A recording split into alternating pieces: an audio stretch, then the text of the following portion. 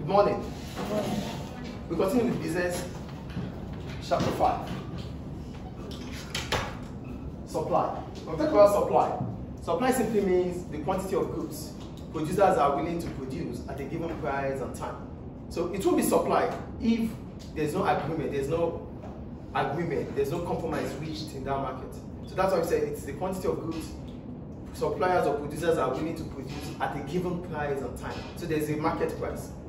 So because there's a market price, that's the price of agreement between demand and supply. That makes suppliers want to sell.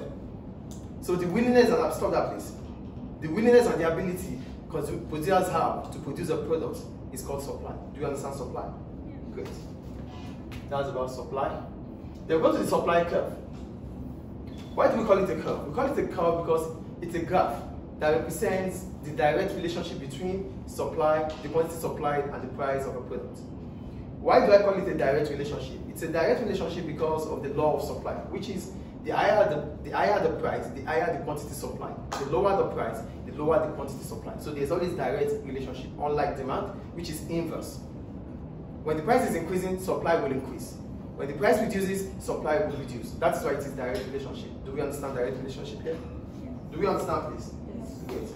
Then we go to the graph here. There's always a movement.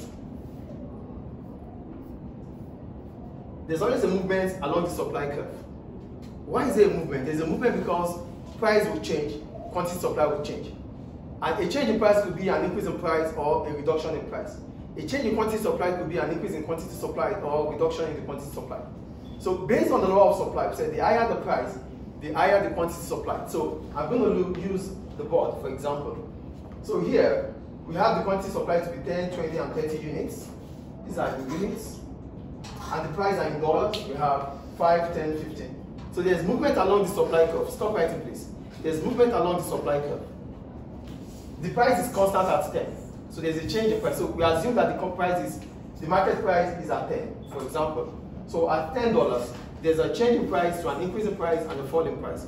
How does this impact in the supply curve? A fall in price from $10 to $5 will bring about a fall in the quantity supplied from 20 to 30, so there's contraction. Based on the law of supply, the lower the price, the lower the quantity supplied. The, the price was 10, the quantity supplied was 20. As soon as the price fell from 10 to 5, the quantity supplied reduces from 20 to 10. Do we get it? The lower the price, the lower the price, the lower the quantity supplied. Do we understand supply here? Then on the other hand, if the price increases from 10 to 15, the quantity supplied is expected to increase. Based on the law of supply, the higher the price, the higher the quantity supplied. So if the price increases from 20 to 30, if the, sorry, if the price increases from 10 to 15, the quantity supplied will increase from 20 to 30. The higher the price, the higher the quantity supplied. Expansion. Do we understand? Yes. Any question about that? No. Good. Then we have the fixed supply. Why do we, do we call it fixed? We call it fixed because the supply curve is vertical. It's vertical. This is vertical, right? So it is vertical because there's a change in price, but it does not bring about a change in the quantity supply. So if you have a fixed supply, it means the price will change, but the quantity supply remains the same.